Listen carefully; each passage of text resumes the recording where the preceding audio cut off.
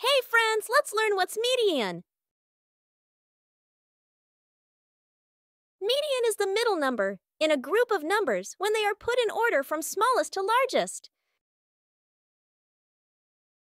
The one in the middle is the median.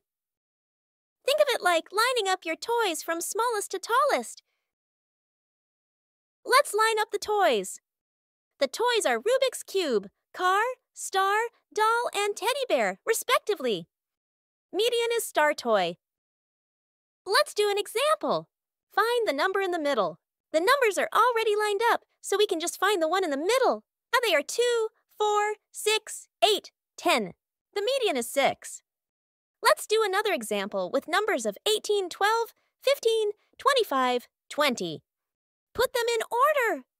The numbers are 12, 15, 18, 20, 25, respectively. Find the number in the middle. The median is 18. Good job, friends!